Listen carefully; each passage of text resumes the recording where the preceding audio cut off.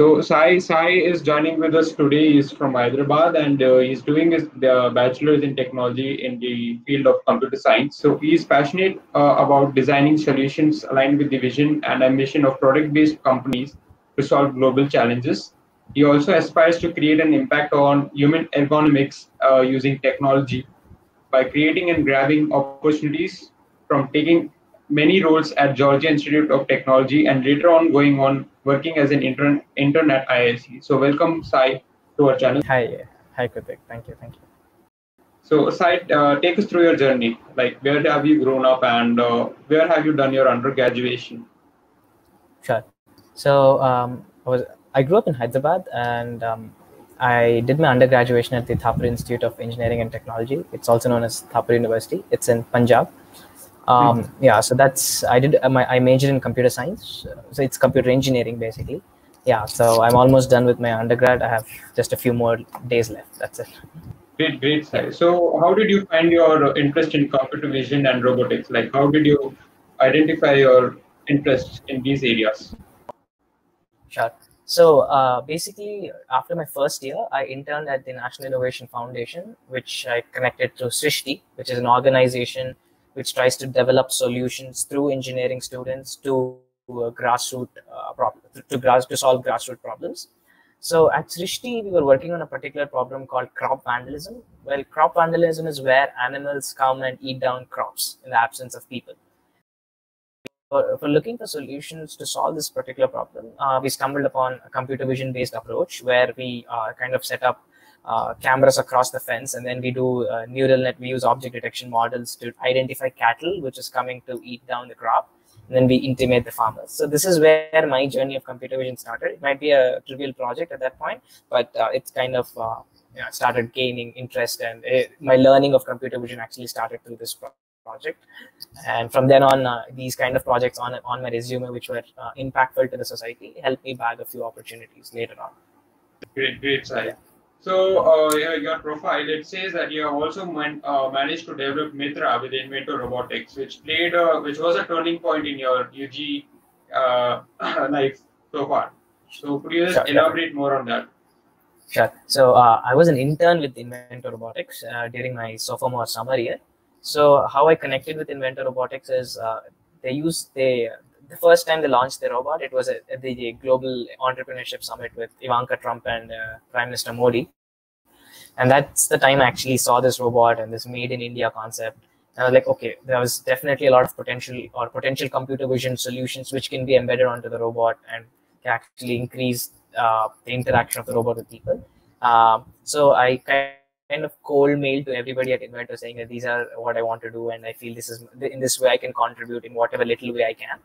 Um, so yeah, I, I was uh, I was able to bag an internship with them. So I interned for two months nearly with them, and at Invento, uh, I started working on problems such as facial recognition and interaction with customers. Say like, "Hey, Sai, how are you?" and you know, age detection, gender detection, offline, not using APIs and all. So that I was working on that particular segment of it, and eventually that also brought me got me uh, into robotics, such as ROS, robot robot operating system, SLAM, and so these ways, both robotics and computer vision kind of uh, fused in at this particular point.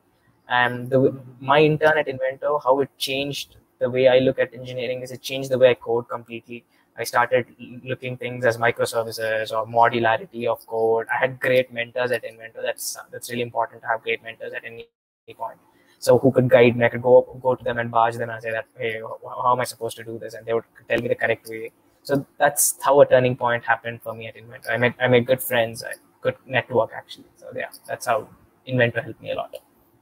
So, so Mitra seems to be, uh, seems to be a close ally of humanoid ro- robot. So it is kind of I can say, uh, just correct me if I'm wrong, that it is yeah. more of a sophist- sophisticated robot. So what what skills should you acquire? Like one should acquire in order to deliver such projects. Sure. So if you look at uh, Mitra uh, at this point, I'm, it, it's not something like Boston Dynamics, which does flips and you know does all kind of acrobatics. It's it's a robot which is supposed to be put in in outside real world where it's trying to interact with customers, engage them while shopping or such kind of activities. So from my perspective, uh, uh, I'm, since I'm a student and I'm just an intern, the way I looked at it as uh, how do I contribute to the robot and by using my skills. So uh, I was doing through computer vision. So that is one way you can enter into robotics. Uh, you can come into robotics through natural language processing. Uh, so it's an amalgamation of a good robot is an amalgamation of different concepts of AI and mechanics and electric- electronics. So these are the different ways I would see you can enter robotics field. And once you're there, uh, you know, you'll start picking up stuff on your own. Like you can't just survive saying that, Acha, I am going to do computer vision and I'm going to put my hands off. You'll eventually need to work on fixing, uh, you know, writing code for the Jetson or, or to be make it suitable to hardware. So that's how I would, I would structure my learning curve. Start with something and then you will figure out with experience what you need as time goes by. Okay, sir. From from there on to prestigious Georgia Tech University, I, I see that you had done your internship over there also. So uh, first of all, tell us how how did you get this opportunity? Like what, what what all groundwork did you do in order to get this chance from there? Sure. So uh, Georgia Tech again was a very important uh, phase for me because from I was I was always aspiring to do a master's or a PhD in the future. So I always wanted to enter good research labs abroad. So uh, while I was studying, while I was interning at Invento Robotics, I had a, a fellow intern uh, who was from Georgia Tech. And then he told me about a professor saying that there's a professor who really works very similar to what you're doing, uh, my skill set. So then I started cold mailing a lot of professors. Like I literally wrote around 300, 400 uh, mails to different professors saying that I am interested in working in your research, how I could contribute to their research. And this one kind of clicked very well. So I had a series of assignments and interviews. And, um, and yeah, then I had my visa procedure. And after that, I was I was funded to actually go there. So yeah, at Georgia Tech, it was uh, I was working on at Georgia Tech. I was working on lidar. So uh, it's basically at Georgia Tech what we were working on is managing civil infrastructure roads, like it could be civil infrastructure like roads or traffic signs or assets on the road. And how do we manage their health and assess their health using LiDAR? So that was a very innovative project. And that is something which really was totally new to me. And this learning curve was extremely steep. The 3D mm-hmm. imaging. I used to work on computer vision 2D images and object detection and stuff like that. But here it was 3D and dealing with lidar data and things which are actually in production like you have to go on the roads and collect the data. So that's something very new. And i think that's where abroad uh, interning abroad really gives gives you an edge. So yeah that was how georgia tech happened. And um, i had a good recommendation from the professor. So those help. Yeah definitely help. Indeed, indeed it was a very great experience i can say that for sure Absolutely. So uh, you had mentioned about the interview process. Could you elaborate how was the like what was the uh, procedure about like what was the interview experience like? Sure. So uh, the first moment I sent my mail saying that I I work on so basically you really create an impression when you send an email like if you just send any email saying that I want to work with it's not going to work.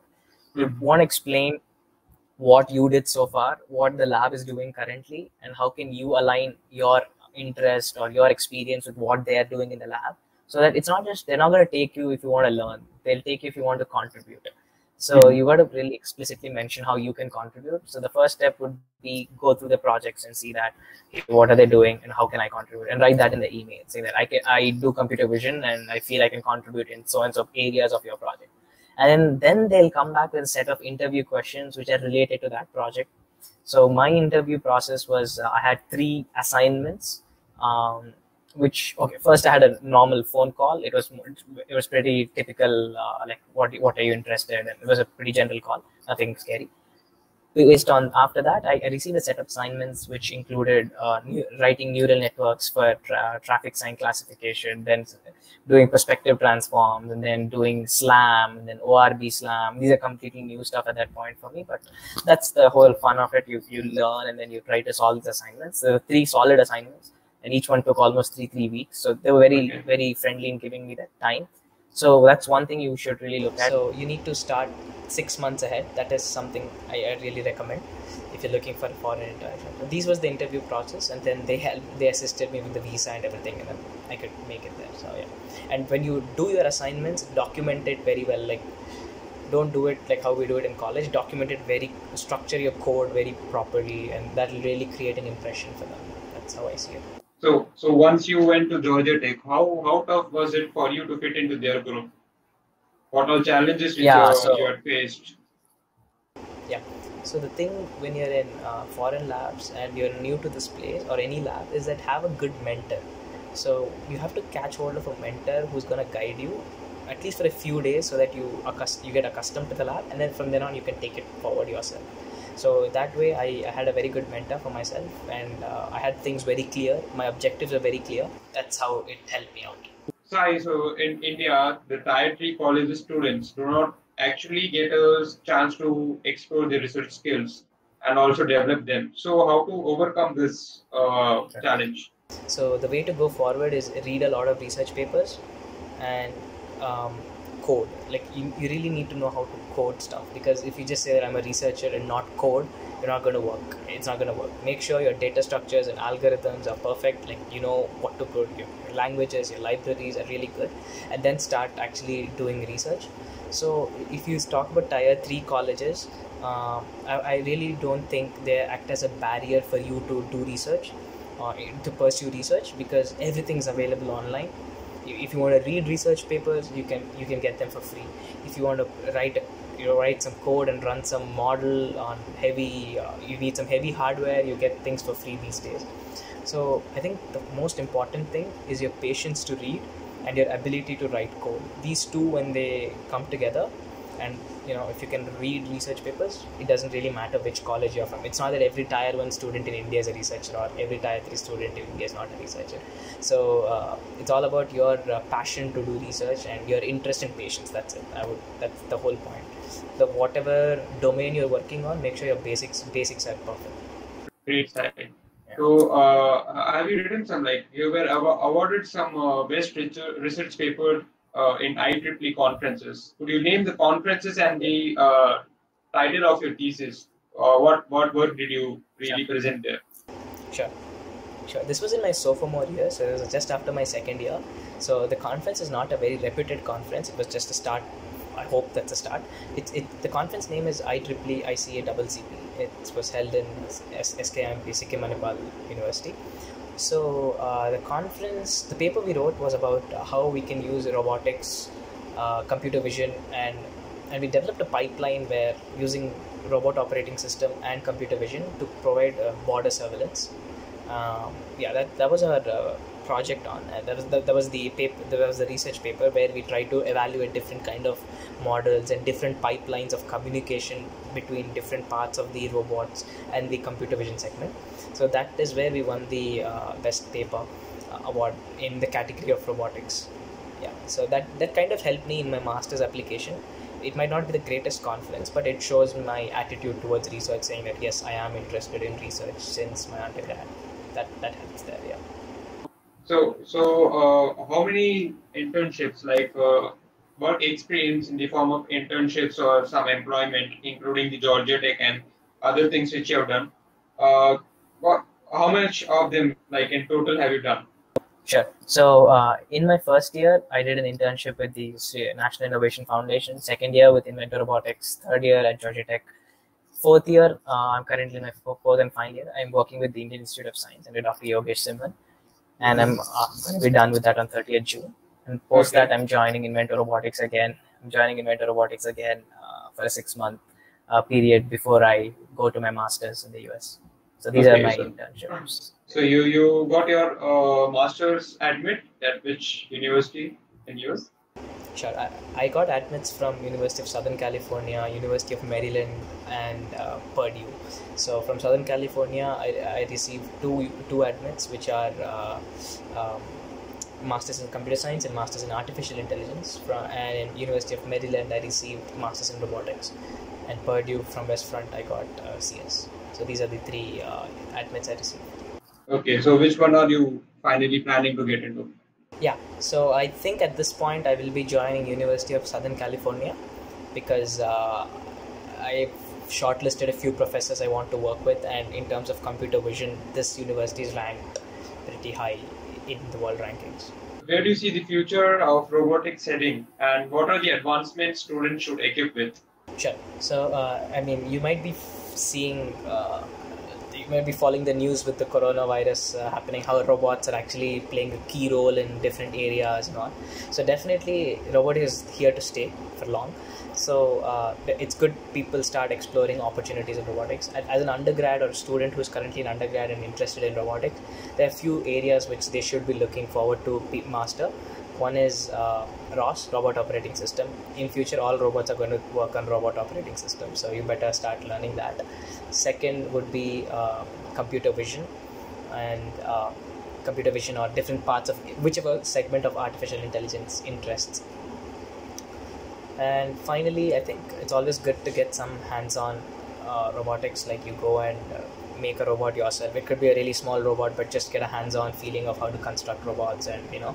So these are the three areas you should be really hands-on you should be good with your code and then you should learn the operating system. I think these three areas if you're good you can start working in robotics. And also be a little creative and understand what are the use cases you can use robotics. It could be medical robotics it could be surveillance based robotics it could be you know commerce based robotics. And you could look into areas which interests you and prepare your skill set in that direction especially I'm talking with respect to computer science. Of course, it might differ from the electronics perspective. Uh, you should be looking into uh, you know you should be looking into solving solving problems in computer vision where you're trying to uh, uh where you're trying to identify use cases such as say customer engagement if that's a use case you're working on what are the computer vision algorithms or uh, you know code you need to write to create that engagement or interactive experience or say that you're working on NLP where you're trying to communicate the robot and uh, so uh, you need to work on those. So there's a particular topic called human robot interaction, and this is the area which I feel uh, people should be looking into.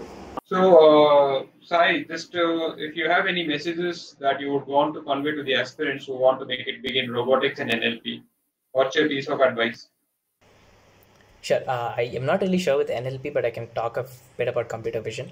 Uh, so when it comes to uh, robotics and computer vision, if you're looking to uh, pursue a master's or PhD uh, in the future or into research, one thing I would say that is keep keep yourself aware of the recent trends. Like today, you might be studying YOLO, YOLO V3, and then just YOLO V4, and then the day before yesterday YOLO V5. So things just change like that, and you'll be put out of the race quite quickly. So don't um, don't stick to something. Just keep your skills uh, to every day and have your fundamentals very clear. When i toss when i say fundamentals you must have linear algebra calculus and everything on your fingertips. Like you should really know what's probability and everything really really fundamental really clear. And that's when you can actually start building or even look at building something groundbreaking. Because if or not you'll always be using things which are available on public repositories and that's what you'll be keep doing all your life. But um, if you really want to start contributing in making good research and good progress this is the way you go forward. You look at research papers you read research papers you try to implement them and then then you, you look into use case it might not be everybody is really interested in doing computer vision at the core. They might want to look into applications of computer vision. That's some that's something i like. I, I don't like to look into developing algorithms but i look to solve problems using computer vision. So uh, that's an area you can look into. Look start identifying problems. That is uh, something i can suggest to people and then try solving them and uh, try to improvise on them. Do your experiments and reiterate over problems and solutions. That is something i would like people to do maybe. Great I, I think your knowledge your journey your challenges and the advices which you had told to the told to our channel audience would definitely help them in uh, somehow later in their life. Sure i hope so. Okay sure, Sai, thank you very so. much again for joining our channel and like taking some part of your time and spending with us. Definitely. My pleasure my pleasure Okay, so uh, to, for all those who are viewing this uh, session, if you want to connect to Sai, you can uh, check him out uh, on the LinkedIn profile given in the description below. And uh, Sai, is there any other way uh, students and our viewers could reach you apart from LinkedIn? Sure. Sure. Uh, I run an Instagram page called Must Grow, M U S T underscore G R O W, where we talk about uh, these kind of things like research and opportunities for undergraduate students and how they could plan out their four years of engineering. So you could connect with me there too. I generally respond quite quickly there. Great, Sai. Thank you. Thank you for joining us, Sai. It was a great session sure. with you. Sure. All the best. Bye bye. Okay.